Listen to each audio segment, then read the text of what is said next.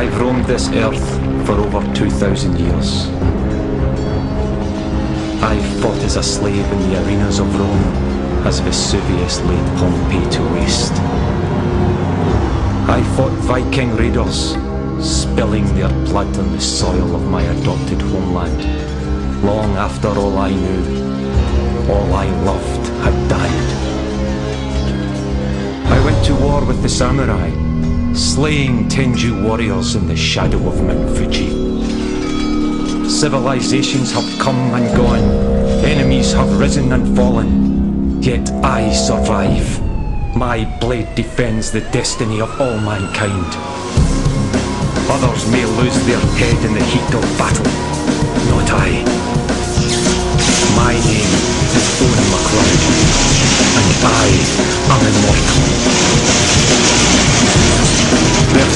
only one